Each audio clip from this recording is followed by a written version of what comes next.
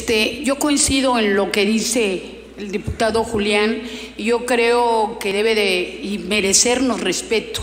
Primero tomar protesta y después, o sea, yo creo que lo más obvio y lo que dice la técnica parlamentaria es precisamente que tome protesta y posteriormente, después, ahora sí que presente su licencia por las condicionantes que ella, ella considere, ¿no?